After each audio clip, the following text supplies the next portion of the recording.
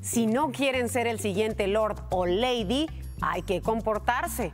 Para muestra lo que le pasó a este funcionario en Cancún. Sí, caballero. Cálmate, por favor.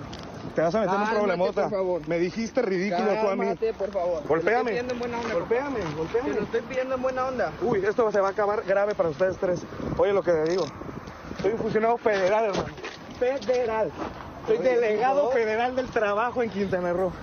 No tienes una idea problema que. Luis Alberto Espadas Carrión se ostenta como subdelegado de la Secretaría del Trabajo y Previsión Social en Quintana Roo. Bueno, ahora es Lord Papi. Se ganó este título por acusar a unos policías con su papá e inventar que lo estaban golpeando. Lo que Lord Papi no dijo es que lo detuvieron por circular en un carro sin placas.